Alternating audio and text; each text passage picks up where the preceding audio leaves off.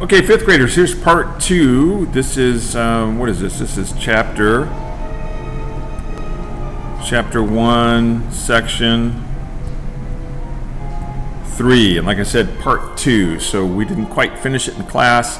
I'm going a little bit slower. I think it's kind of necessary uh, for you guys. Gotta turn down my music here before it gets too loud on me.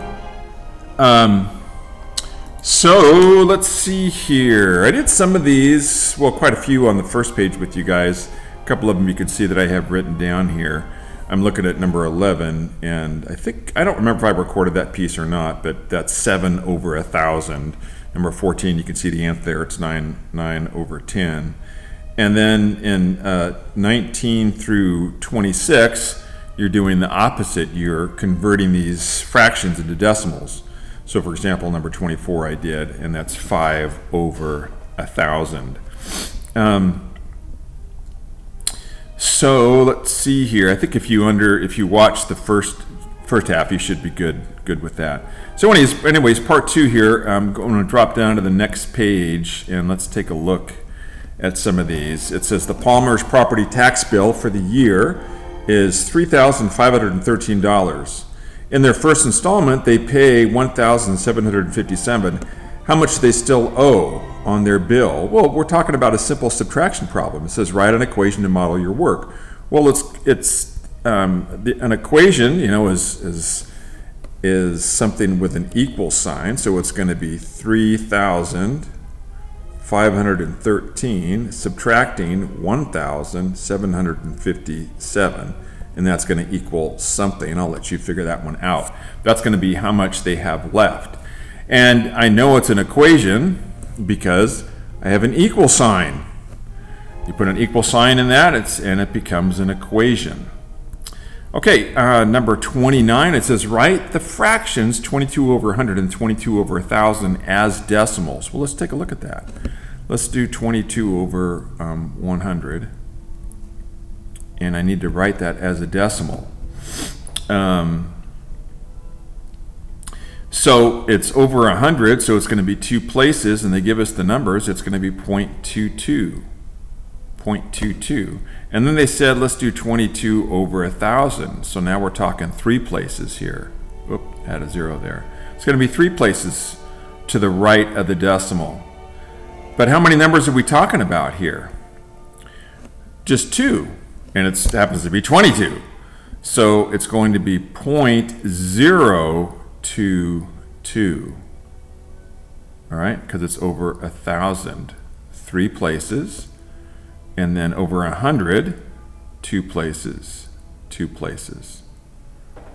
All right. Um, and how are the, it asks the question then, it says, um, and I can go ahead and write this down here, 0.22 and 0.022.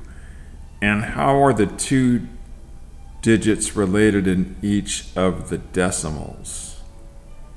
Um, how are they related? Well, the two on the left is 10 times greater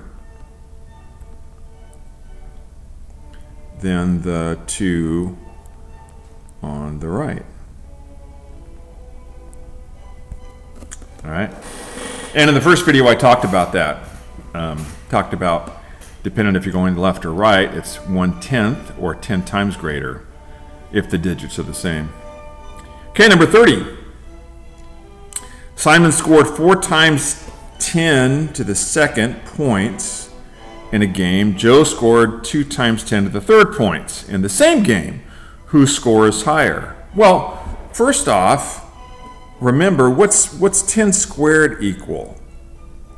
10 squared equals 100. What's 10 cubed equal? That equals 1,000. And then it says Simon scored four times 10 squared, so that's four times 100, or 100 times four. So that what's that going to be? That's going to be 400. And Joe scored 2 times 10 to the third. That's going to be 1,000 times 2, or 2 times 1,000. That's going to be 2,000. Whose score is higher? Well, obviously, Joe.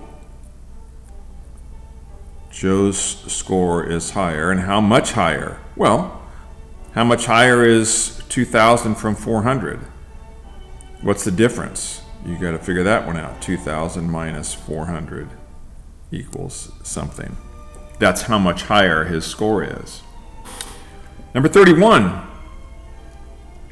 Kelly said that 97 over 1,000 can be written as 0.97. Is she correct? No, she's not correct. No, because 97 over 1,000 is not 0.97, it's 0.097. Um, is she correct? No, explain. Um, it's, um, well, I don't know. Uh, it's in the thousandths. THS, there's that ending that tells us we're talking about decimals, thousandths place. Okay. All right, 32. Moving down. Uh, Frank reasoned that the number 0.555, um, oh, that in the number 0.555, the value of the 5 in the thousandths place. So let's color code this. I'm going to go over here and I'm going to do the thousandths place. And I'll do that in green right there. Oh, maybe it's going to be too yeah, I think my highlighter is too thick. Let's do this. Thousandths place. I'm going to circle it in green. The value of the 5 in the thousandths place is 10 times as great as the value of the 5 in the hundredths place. So now I'm going to circle um, hundredths place. That's going to be this 5 right there. So let's see here. The value of the 5 in the thousandths place is 10 times as great as the 5 in the hundredths place. Is that correct? Um, the answer is no. And it's because the, the green 5, the 5 in the thousandths place, um, the thousandths place is 10 times smaller, not larger, 10 times smaller, or one tenth of the hundredths place. There's that THS ending that tells us we're talking about decimals. Okay?